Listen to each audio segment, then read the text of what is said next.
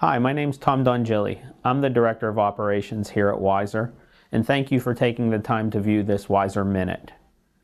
Today, I want to talk to you about In Situ simulation. In Situ simulation can be an effective tool for monitoring clinical performance, system responses, and or teaching within a clinical setting. I'd like to now share with you some tips about creating and running an effective in situ simulation program. Here are some helpful hints to help you set up and run an in situ event. First, talk with the clinical coordinator. Is there anything specific that they would like to assess?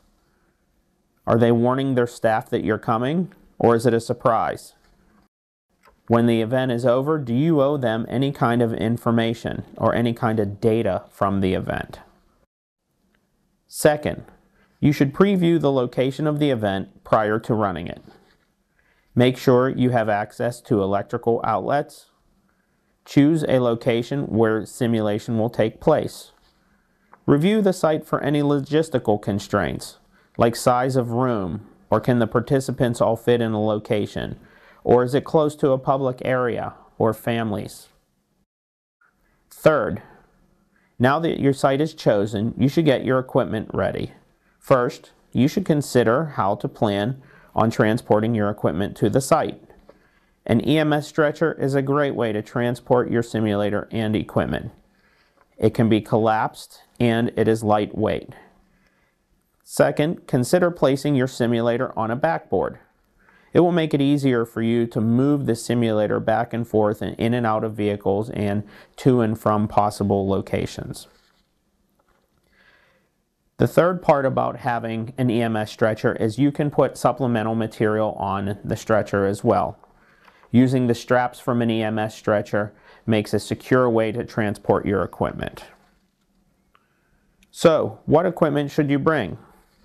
In addition to the simulator and its accompanying hardware, you should think about including the following. An extension cord, a power strip, a laptop charger, a stand for you to run the laptop and the simulator software from. Don't forget your program scenarios for the event and make sure they're loaded on your computers if you're using a simulator. The last thing you should think about bringing is extra supplies. These are supplies that may be useful during the event or most likely to break on any of the equipment that you may be using. The last thing you should consider for equipment is the clinical equipment. Are you using the clinical equipment that's at the site or is the site expecting you to supply all the clinical equipment? The last thing you need to do before you leave your facility and go on your in situ journey is to test your equipment. So prior to leaving for your in situ event, you should set up your equipment and conduct a mock run of the event in the hallway of your facility. Doing this in an area like the hallway will assure that you're prepared to function independently. Test your equipment functionality and also test the accuracy of your scenarios that you'll be running.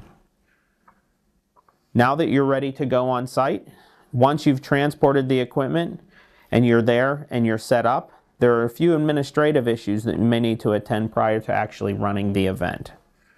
If you're in a public area, you may need to notify any bystanders that an event is occurring and that it's being used for training purposes. If you don't do this, it may be a bit disturbing for the lay public to see. If you're conducting a mock code and there are real code called recently, then you may want to consider delaying the event until real code is resolved. Thank you for taking the time to view this Wiser Minute. I hope you found the information about In Situ simulation valuable, and we look forward to seeing you again soon.